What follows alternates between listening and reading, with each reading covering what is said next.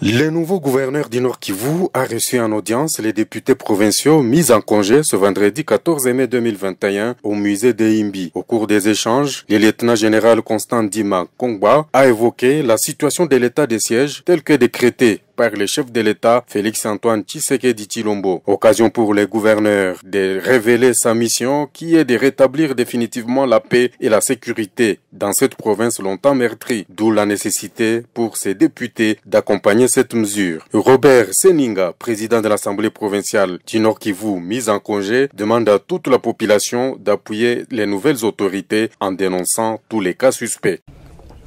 Nous appelons la population du Nord Kivu à s'approprier tout d'abord euh, cette décision du chef de l'État, son Excellence Antoine Félix Chilombo, celle de vouloir mettre les paroles aux actes, de passer les paroles aux actes, c'est-à-dire donner la paix à la population du Nord Kivu.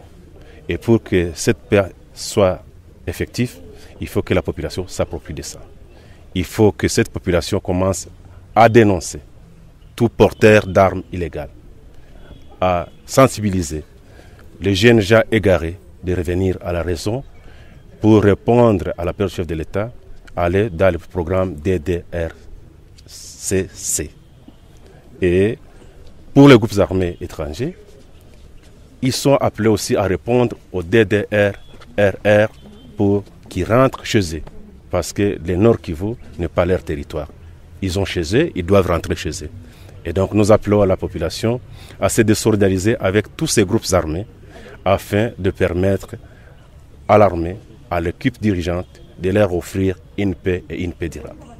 Et Robert Abinchoti Seninga décourage également tous les politiciens qui seraient impliqués dans l'insécurité de notre province à cesser cette pratique.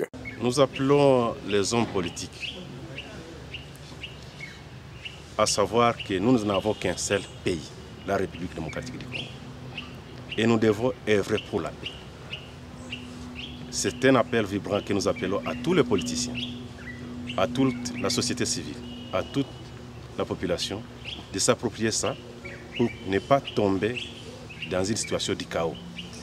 Nous venons de faire des décennies dans une situation de ni paix ni guerre et notre population en souffre beaucoup.